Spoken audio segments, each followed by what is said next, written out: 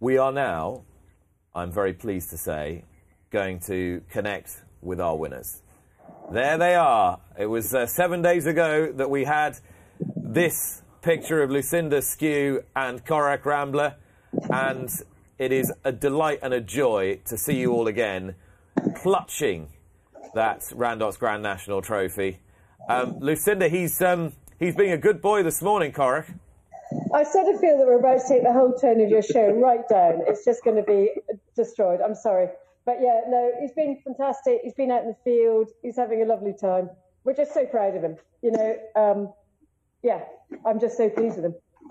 Well, you, you must be ridiculously proud of him. He's a horse of such charisma, a horse that was such a popular winner as well. I, I wanted to know from you, Lucinda, how you felt about the public reaction to, to you guys and to this horse.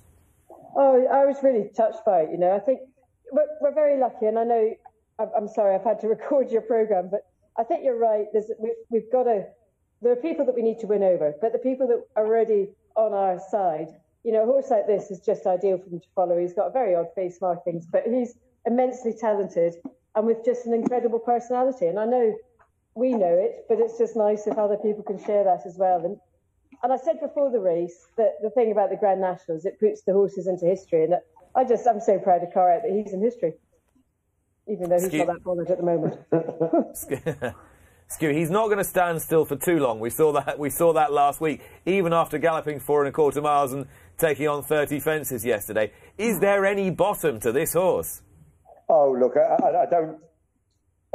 you know, with again going back to the subject we talked about, I, you know, I think for this particular horse, it was a very fair test that that race, and he, um, and, so I, I, don't want to see a bottom to him. I, I, I, one of the most ridiculous statements in racing is, "Oh, come on, let's go and out, find out how good he is." I don't want to find out how good he is. I just want him to be set a fair test every time he goes out and come back like this. I mean, he straight after the race. I mean, he was tired after the race, but within a short time, they took him out onto the front of the course. Paul Lucinda wasn't there because she was doing all her press interviews, but he stood there with people taking photographs of him. And um, you know he, he wasn't tired, it, it, but but he is a remarkable athlete. But it's I don't want to get to the bottom of him. No. I mean, you have spent your life with with horses. You you rode tens of thousands as a jockey. You must have been very fond of an awful lot of them. You've been partially responsible for the preparation now of no fewer than four Grand National winners, um, even though your name won't appear alongside any of them. But I, I, I, why, why have you really fallen in love with this horse as you have? Ooh, I, I don't want to. You know, I, they're all different. Actually, you know, I look back to Bindaree and Earth Summit. I saw the lovely owner of Earth, you know, and Nigel Payne, who has been responsible for the promotion of Aintree over many years. And I always laughed with Nigel when Earth Summit won the Grand National. I, lo- I love it. As Lucinda said with Arthur, he was life changing. Earth Summit was life changing to Nigel Payne. We used to laugh. And Nigel, if you said, "Oh, I see that uh, Sadler's Wells won the Derby," well, if you go back long enough in Earth Summit's pedigree, you will find a relation to Earth Summit. You know, it changed his life. He he couldn't get a sentence out without saying Earth Summit. Um, Bindaree was fantastic, and, and then you know Arthur. I was just.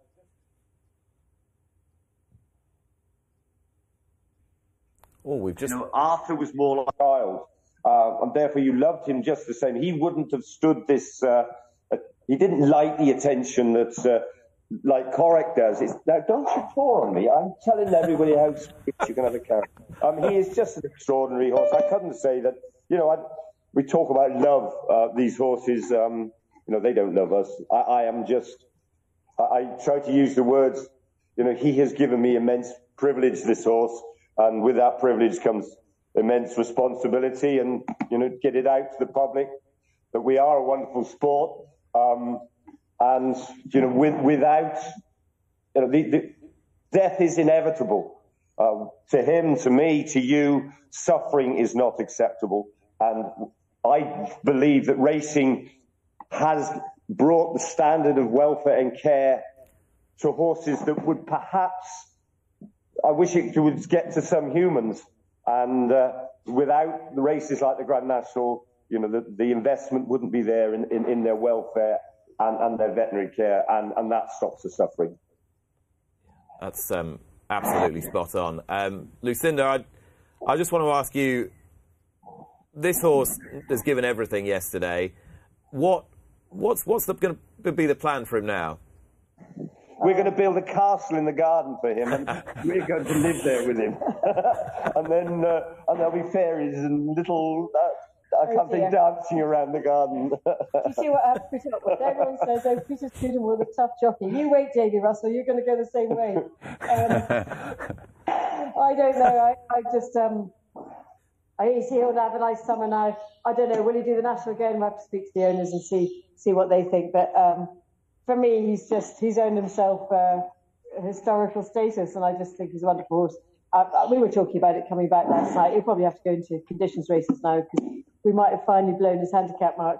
Um, but anyway, we'll, we'll see. I don't. At the moment, all I want to do is tell him how much how much we have to thank him.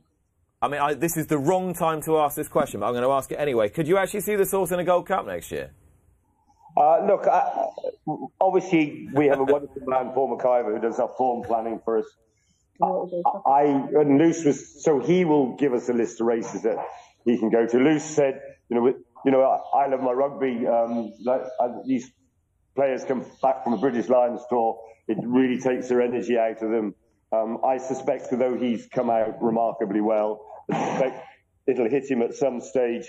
Um, I, I, don't think we'll see him much till the autumn time next year. He'll have a big long holiday, and uh, yeah, he will go back to Cheltenham because, well, he's unbeaten at Aintree and Cheltenham, I think. so he likes those places. I've forgotten that.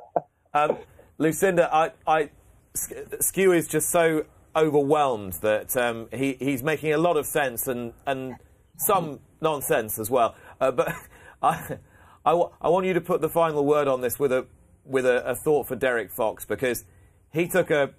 I'm not saying he took a risk, but it was a calculated risk to miss Ahoy Senor on Thursday, and, and it was all about this horse. Uh, that takes a bit of doing. That, that's pretty brave what he, what he put himself through the last couple of weeks.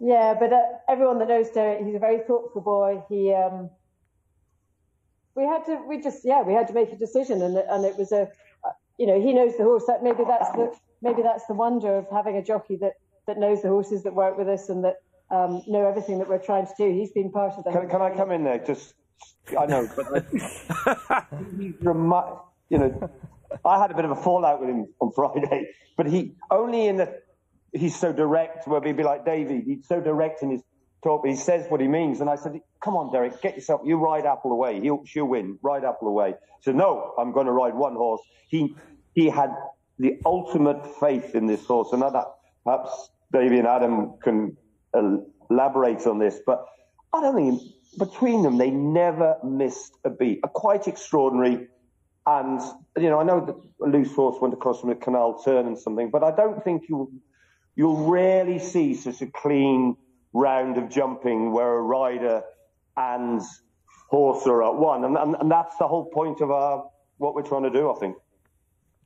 Um, Lucinda, Scu, Corach, what a team you are. Um, you've warmed all our hearts. Thank you so much for everything the last, uh, the last week or so as well. And it's just wonderful to see the horse in such good shape this morning. And just um, keep going with those carrots, Scu. what a you. good boy. Eh? He stood still this morning. and thank you to everyone that, that supports him. He really is a phenomenal horse. I'm so pleased that people appreciate him. Just beautiful to see him. Thanks so much.